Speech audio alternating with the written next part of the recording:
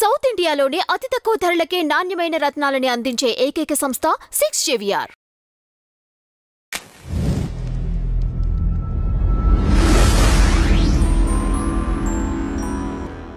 నమస్తే స్వామి. నమస్కారం అమ్మా చెప్పలి చెప్పల్లి అసలు ఏంటి సనాతన ధర్మం అంటే ఏంటి? అసలు దేనికోసం సనాతన ధర్మం అనేది ఏం నేర్పిస్తుంది మనకి? మనం కొన్ని వివరణలు మాట్లాడితే అమ్మా. సనాతన ధర్మాన్ని అసలు సనాతన ధర్మం మీకు అర్థాన్ని కొంచెం క్వశ్చన్ అనేది మనం ఆన్సర్ ఎండింగ్లో వచ్చేలా మాట్లాడతారు. ఓకే. సనాతన ధర్మం అంటే అమ్మ అనుభవజ్ఞులు రాసిన ఒక గ్రంథం. మనకు తెలిసింది ఇప్పటికీ. సనాతన ధర్మం అనేది ఏంటంటే మన దేవుళ్ళని మన ఇలవెలుపులని మన కుల దైవాలని మనం కట్టుకున్న ఆ పురాతనమైన గుడులని గోపాలని గోపురాలని కాపాడుకోవాలనేది ఒక విషయం. మూడో విషయం ఏంటంటే అమ్మ ఇక్కడ ఒక విషయము రెండో విషయం మూడో విషయం చెప్పిన తర్వాత మన దగ్గర ధర్మం అనేది గుడిల మీద కూడా రాసి ఉన్నది. కామం అనేది కూడా గుడిల మీద రాస్తున్నది అనేది చూపుతో మారింది. నువ్వు అన్న సనాతన ధర్మం ఏంటంటమ్మా చూపులోనే ఉంది. చేతల్లో లేదు ఇక్కడ. హిందుత్వం అని మీరు అన్నారు కాబట్టి బంధుత్వాన్ని కోల్పోయిన వాళ్ళు హిందుత్వం ఈరోజు మనందరం అందరం అందరం అందరం కలిసి దాన్ని పల్చగా చేసేసుకున్నాం. యూనిటీ ఈజ్ నాట్ దేర్ ఒక విషయం. నేను మూడు విషయాలు చెప్పాను మీకు. సనాతన ధర్మం అంటే ఏమిటి? ఇది ఏమి బోధిస్తుంది? దీనివల్ల ఉపయోగాలు ఏమిటి? సనాతన ధర్మం అంటే ఏం బోధిస్తుంది తెలుసా అమ్మ? ఐదు మంది ఇంట్లో కూర్చొని భోజనం చేసి కష్టసుఖాలు మాట్లాడుకుంటే మన ఇలవెల్పులు మన అమ్మ మన నాన్నలు మనతో పాటు ఉంటారని ఒకటి చెప్తే సమాజంలో అంటే బయటికి ఇంటి నుంచి బయటికి వెళ్ళిన తర్వాత డబ్బు సంపాదించినా ఏది చేసినా వ్యవసాయం చేసినా ఎలా వచ్చినా కూడా అది కుటుంబము నీకంటూ ఒక బాధ్యత నిన్ను నమ్ముకొని ఉన్న ఒక ఇల్లాలు పిల్లలు ఉంటే సంసారానికి నువ్వు ఒక చిన్న పొజిషన్లో ఉన్నావు. నీ బాధ్యత ఉన్నది అనేది రెండు. మూడో విషయం నేర్పిస్తుంది ఏం తెలుసా అమ్మ? నీ వల్ల నిజంగా అవసరం ఉన్న వాడికి సహాయం చేయగలిగితే చెయ్యి మ్మ్. లేదు అని అంటే నీ ఇంట్లో నువ్వు ఉంటే చాలు. కానీ వేరే వాడిని ఏదో విషయం చెప్పు ఇంకేదో చేసేసు ఇక్కడ మాటలు అక్కడ చెప్పేసి తక్కువ అంచనా చేసి కిందికి ఒక స్థితికి తేయకూడదు ఈ మూడు మీకు చెప్పింది ఏంటంటమ్మా ఓరల్ సొసైటీ డిస్కషన్ ఒక్కసారి వెనక్కి వెళ్ళి నన్ను అడిగిన ప్రశ్న ఏంటంటమ్మా శాసన గ్రంథాల్లో ఇతిహాస పురాణాల్లో మనకు రాసున్న మహావేదాలు ఏం చెబుతున్నాయంటమ్మా? మానవ శరీరాన్ని ఎత్తిన మానవుడు వంద సార్లు ఎత్తిన వంద సంవత్సరాలు వందల సార్లు బతికిన పుణ్యం లేని బ్రతుకు ఎప్పటికైనా వ్యర్థం. అంటే ఎందుకు సనాతన ధర్మాన్ని పాటిస్తలేరు మన వాళ్ళు అనంటే ఏ రోజైతే నువ్వు నీ తల్లి పాలిచ్చిన రొమ్ముపైనే తన్నేసేసి విదేశాలకు నేను డబ్బుల కోసం వెళ్ళిపోతాను నాకు ఏమిచ్చావు నాకేమిచ్చావు నాకేమిచ్చావు అని ఈరోజు అవమానపరుస్తున్నారుగా నా తల్లిదండ్రులని. అలాంటి తల్లిదండ్రులని ఒక్క మాట నేను నీకు ఊపిరి అందని టైంలో ఊపిరిచ్చి ఆకలికి నువ్వు ఒక ముద్ద తినల సమక్షంలో నా యొక్క రక్తపు మాంసపు ముద్దలని పనంగా పెట్టి పాలిచ్చాను అన్న మాట ఎంతమంది పిల్లలకి ఈరోజు తెలుసు. తల్లిదండ్రులు చేస్తున్న మొదటి పొరపాటు మీరన్న ఆ సనాతన ధర్మానికి మనము వెన్నుపోటు పొడుచుకున్నాం. గర్వం అండం. పిండం ఎవరు తెలుసా తల్లి? అండం పిండం బ్రహ్మాండం. ఇక్కడ ఈ అండం పిండం బ్రహ్మాండం పరమాత్ముడు కాదు.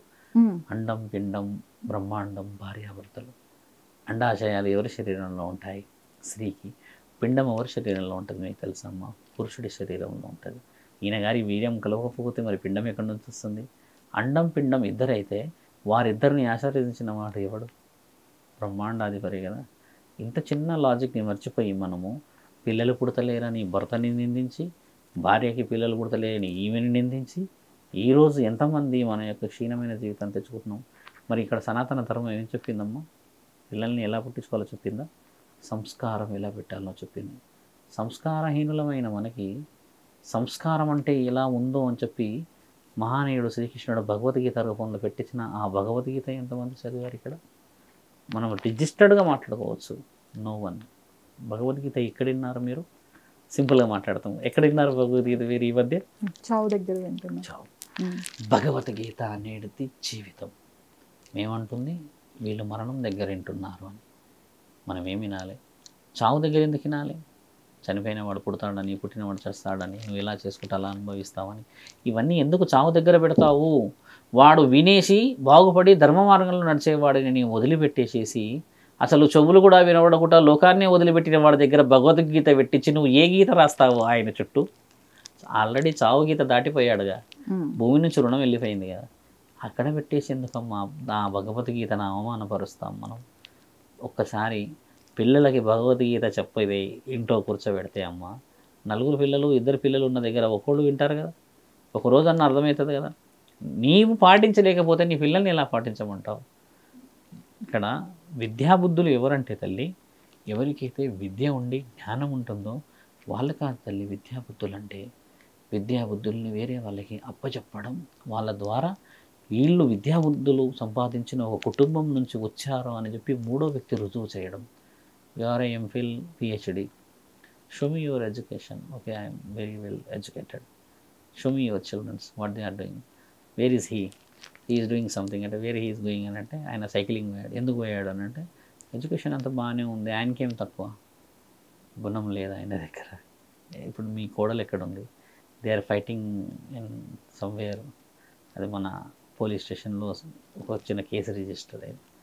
Where is your education and where is your PhD certificates when you are doing a study you have to learn a culture ఎక్కడైతే కల్చర్ ఉంటుందో అక్కడ స్టడీకి విలువ ఉంటుంది.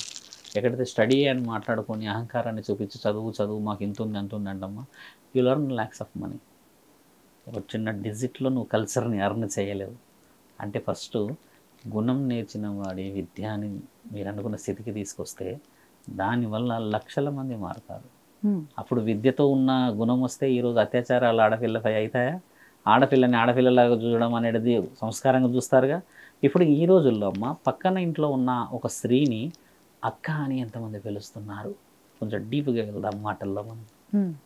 మనం ఎక్కడైనా షాపింగ్కి వెళ్ళాము ఇంకెక్కడికైనా వెళ్ళామంటే కెన్ యూ రిజిస్టర్డ్ అమ్మ? నువ్వు ఒకసారి డయాగ్నోస్ చేసి చూడు. అంటే నువ్వు అక్క అని పిలువరు ఇక్కడ. సంస్కారహీనులు. అమ్మ అని పిలువరు ఇక్కడ. చెల్లి అని పిలువరు. బుజ్జి అని పిలువరు. మేడం ఏమండి? అంటే అవతల వ్యక్తికి రెస్పెక్ట్ ఇవ్వడానికి నీకు అంత క్యాలిక్యులేషన్స్ అవసరం వచ్చింది అని అంటే అవతల వ్యక్తిని నువ్వు ఒక స్త్రీలాగా చూస్తున్నావో లేకపోతే ఇంకేదైనా ఆలోచన ఎందుకులే మనకేంది అన్నట్టు రెస్పాన్సిబిలిటీగా మాట్లాడుతున్నావు కదా? ఒక ఎమోషన్ అక్క అని పిలిస్తే ఆవిడ ఎంత రెస్పాండ్ అవుతుంది తమ్ముడు చెప్పు అనమాట అంటే the bonding we're not creating అంటే ఇక్కడ ఏవండి అని మేడం అని చెప్పేసేసి we're seeing a girl as a girl see a girl as a mother నీకు వస్తుంది నీ జీవితంలో ఒక అమ్మాయి వస్తుంది నువ్వు బాగుపడతావు. అలా అని చెప్పేసి ఊర్లో ఉన్న వాళ్ళందరి అమ్మాయిని నువ్వు అదే చూపుతో చూస్తాను అదే మాటతో ఉంటాను. నా అహంకారం నేనేంది? నేను రెస్పెక్ట్ చేయలేనంటే అమ్మ సనాతన ధర్మం చెప్పింది ఏంటంటే తల్లి భారత మాత అన్నది. అంతే కదా? ఉమ్, భారత మాత ఎవరు తల్లి? అందరినీ కన్న తల్లే కదా? కాబట్టి ఏంటంటే ఇక్కడ భారత తండ్రి లేడు ఇక్కడ. కాబట్టి ఏంటంటే తల్లి మోసినంత బరువు ఈ ధరణి మండలం భూమి ఉన్నట్టుగా తండ్రి మోయలేడు. తండ్రి స్థితిగతులు వేరు. మీరు అన్నట్టుగా సనాతన ధర్మాన్ని చదువుతే రాదు తల్లి. ఇంట్లోనే అన్నం తినాలి ఐదు మంది కూర్చొని చెప్పిన. గతంలో చాలా వీడియోలు. అట్లా తినడం వల్ల ఏమవుతుంది తెలుసా అమ్మా? ఆ కలిపే ప్రతి ముద్దకి బాధ అవుతుందమ్మా మనకి. ఒకసారి గమనించి చూడు. అందరి ఇంట్లో పచ్చడి ఉంటుంది. అందరి కాయ అందరి ప్లేట్లలో పప్పు ఉంటుంది. అందరి ప్లేట్లో సమానంగా ఉంటుంది. నువ్వు బయట తినేస్తే అమ్మా వీళ్ళు ఆ పచ్చడి మెతుకులు తింటూ ఉంటే నువ్వు బయట పోయి డబ్బులు వీళ్ళు ఇచ్చిన డబ్బులతో బయట వేరే తిండి తిని వస్తూ వస్తూ ఉంటావు. ఎప్పుడు నీకు ఆ ఎమోషన్ విలువ తెలుస్తుంది?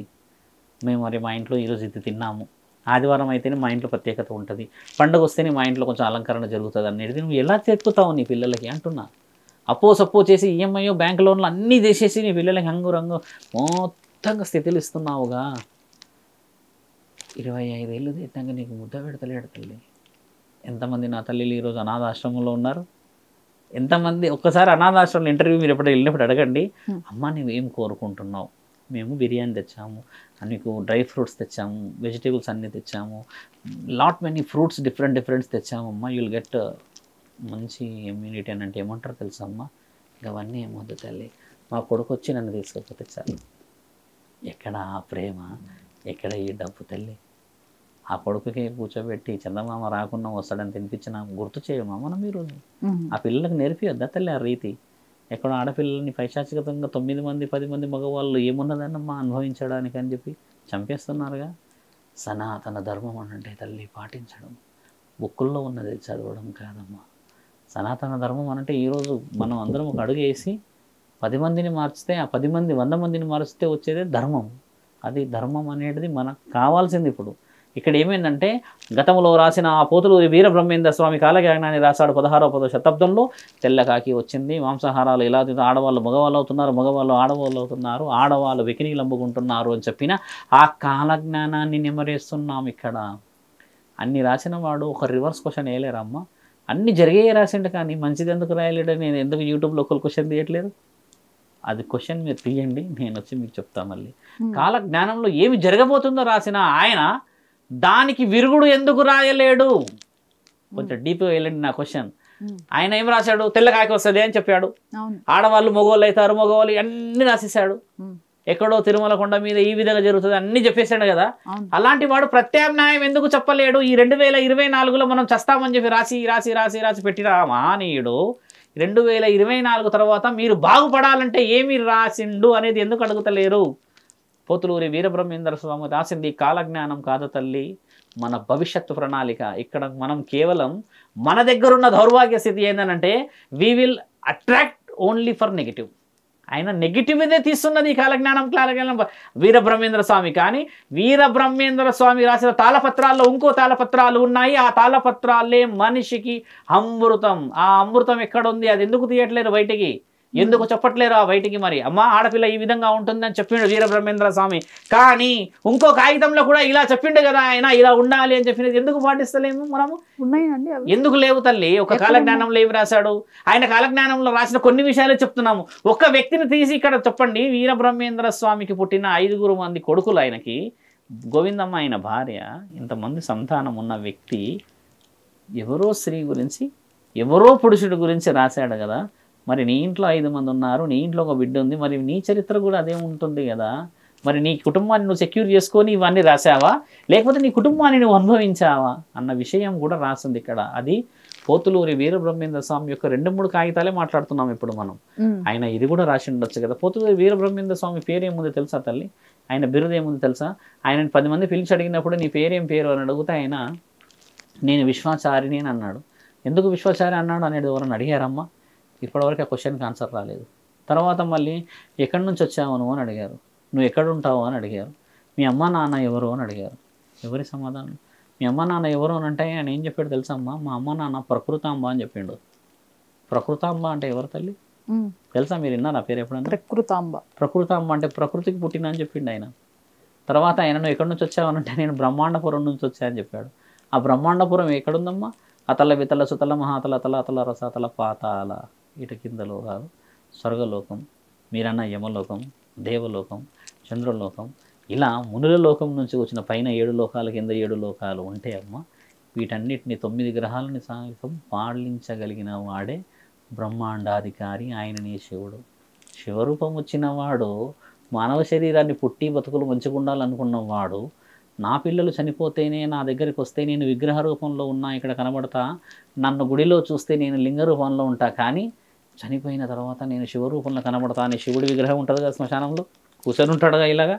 అంటే తండ్రి పూర్తి కనబడ్డా అనుకుంటాడు అంతటి మహానీయుడు అక్కడ కాలజ్ఞానం రాసింది. అక్కడ పోతులు వీరబ్రహ్మేంద్ర స్వామి రాయలేడు. రాసింది శివుడు అని అంటారు కదా? అంత జ్ఞానం ఉన్నది అంటారు కదా మరి. అక్కడ శివుడు మరి నెగిటివ్ రాసింది మాట్లాడుతున్నాడు. పాజిటివ్ కూడా ఉండవచ్చుగా?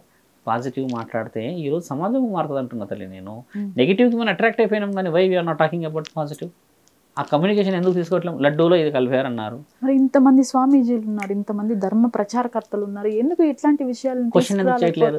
చేయట్లేదు. క్వశ్చన్ చేయట్లేదు. ఇప్పుడు నేను కాబట్టి మీకు ఇలా చెప్పిన కదా. ఎవరు ఎందుకు చెప్పట్లేరు అంటమ్మా ఎవరి జీవనాభివృద్ధి వాళ్ళకే ఉంది. కానీ నీవు అన్నావు ఇందాక మరణాలను ఆపుతారా అన్నారు కదా. నేను గుడి కడుతున్నా అమ్మ నేను బాగా అందరు భక్తులు వస్తారు అని అంటే. మీరు అన్న క్వశ్చన్ రాకపోయేది మరణాలను ఆపేది ఎవరిదంటే అమ్మో సమాజంది. సమాజం ఎవరిదంటే అమ్మో శివుడిది. శివుడు ఎవరంటే మన అందరికీ ఒక తండ్రి విష్ణు బ్రహ్మ వీళ్ళందరి స్వరూపాలతో మన భూమండలం ఉంది. గుడికి ఎవరైనా రావచ్చు అనేది విషయం. ఇక్కడ మరి నా గుడి నా ఇల్లు నా సంసారం అంటే మరి నా ఇల్లే నడుస్తుంది ఇక్కడ. క్వశ్చన్కి మీరు కొంచెం వైబ్రేట్గా వెళ్ళండి. మీరు అన్న ఈ క్వశ్చన్ రివర్స్గా తీయండి అంటున్నా తల్లి. మీరు మళ్ళీ దీన్ని డెబిట్కి పెట్టించండి ఎవరు వచ్చినా నేను రెడీగా ఉన్నా మాట్లాడడానికి. ఉమ్. పోతులూరి వీరబ్రహ్మస్వామి జరిగిన విషయాలు ఇలా ఇలా ఇలా వస్తాయని రాసిన వ్యక్తి మరి అంత జ్ఞానం ఉన్న వ్యక్తి అంత తెలివిగా వెళ్తున్న ఆ మహనీయుడికి ప్రత్యామ్నాయం ఆలోచించాలని రాలేదా అన్న క్వశ్చన్ మీరు రేస్ చేయండి. ఉమ్. అప్పుడు అందరికీ అర్థమవుతుంది కదా ఓహో ఆయన చెడు జరుగుతుంది కాబట్టి మంచిది కూడా చెప్పుతుండవచ్చు అని చెప్పొచ్చు కదా. నలంద విశ్వవిద్యాలయంలో ఉమ్. పదిహేడవ శతాబ్దంలో అమ్మ ముప్పై వేల తాళపత్రాల్లో కాలబెట్టారు.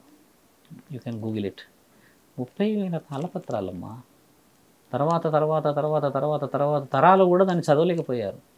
ఇక్కడ అమృతం తాగితే మనిషి బతుకుతాడని రాశారు.